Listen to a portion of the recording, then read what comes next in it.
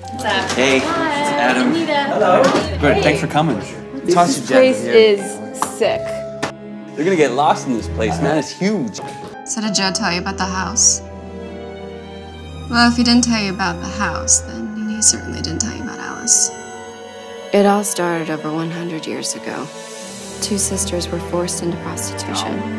Their names were Alice and her sister Delilah. So, what happened to her?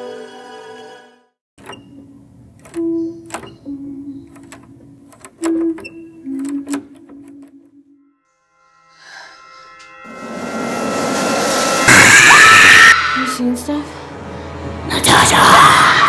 This is haunted.